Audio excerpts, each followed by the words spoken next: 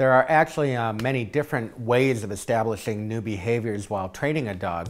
Um, a few of them include targeting, shaping, chaining, luring, modeling, molding, um, uh, free shaping, capturing, and, and these are all valid ways that we need uh, to train the dog and, and, things that we can use while we're actually shaping a behavior of a dog or training a dog.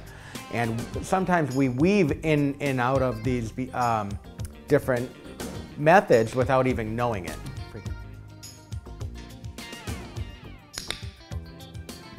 The act of targeting is really uh, teaching the dog to perform a behavior away from the reward, whether it's with a toy or with its food.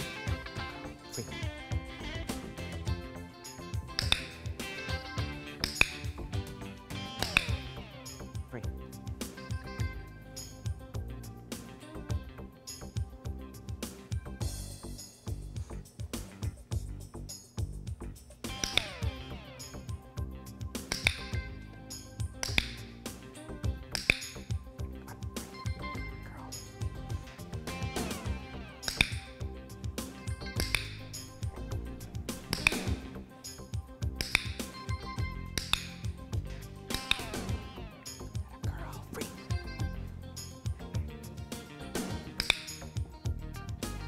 I think it's a really important tool to teach the dog that uh, it, it, can move away from me.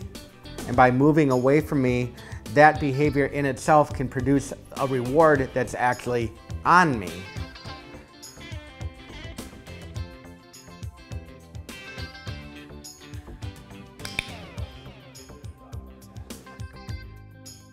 Right.